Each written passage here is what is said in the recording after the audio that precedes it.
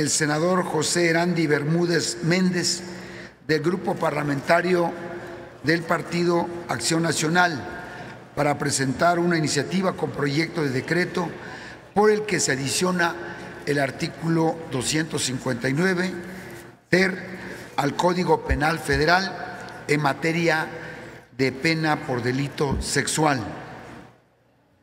Gracias, presidente. Compañeras y compañeros Adelante, legisladores. El acoso sexual es una forma de violencia que actualmente no se encuentra legislada dentro de nuestro marco normativo a nivel federal. Por ello, las víctimas se encuentran en un estado de indefensión frente a cualquier acción de terceros que violenta estos derechos humanos.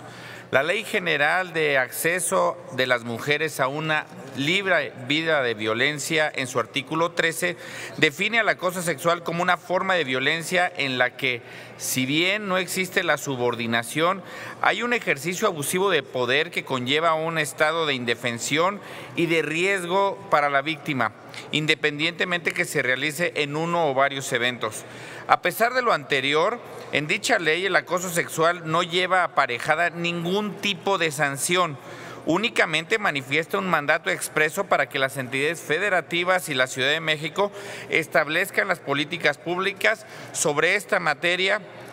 y fortalezcan su marco penal y civil para asegurar la sanción de quienes hostigan y acosan.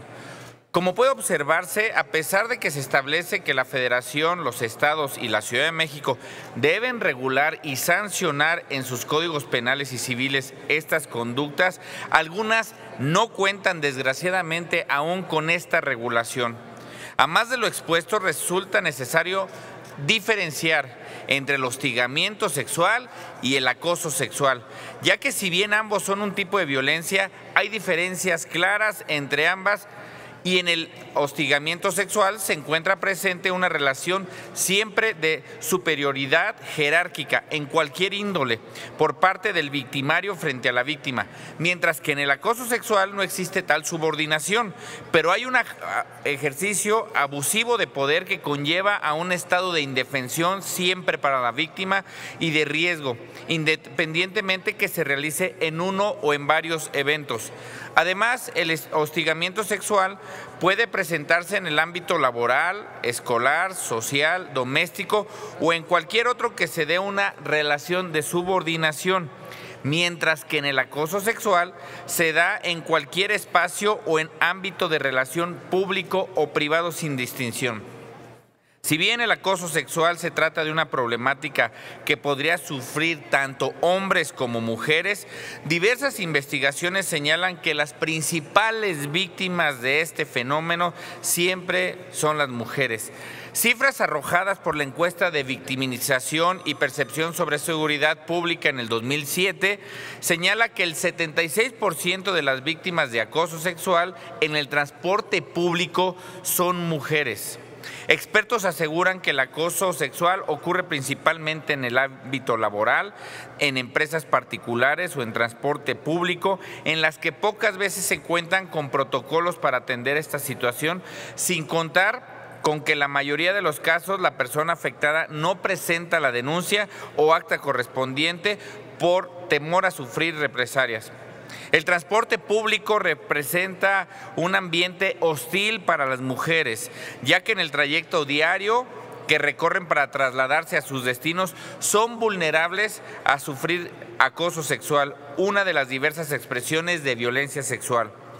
Aunado a lo anterior, en los resultados de la encuesta levantada en el ranking internacional de las ciudades con los sistemas de transporte públicos más peligrosos para nuestras mujeres, lamentablemente nuestro país se encuentra en el segundo lugar, únicamente por debajo de Bogotá. Encuesta levantada en el año 2014 por Fundación Thomson Reuters. El acoso es uno de los muchos tipos y modalidades de violencia contra la mujer y es uno de los más comunes que impiden y obstaculizan su pleno progreso en la sociedad.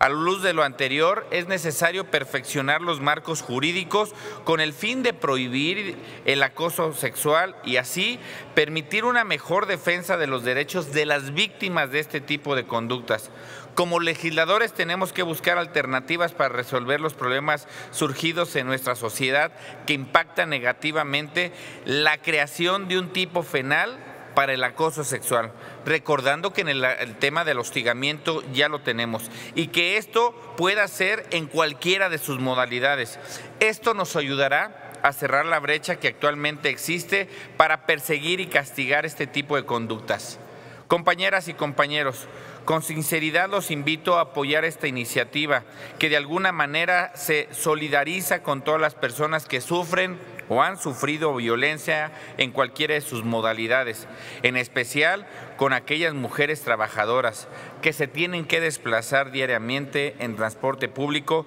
y que son más susceptibles a este acoso. Por lo anterior, muchas gracias, senador presidente, compañeras y compañeros senadores. Esperamos contar con su apoyo. Muchas gracias, senador José Randy Bermúdez Méndez, por su participación se turna a las Comisiones Unidas de Justicia y de Estudios Legislativos Segunda.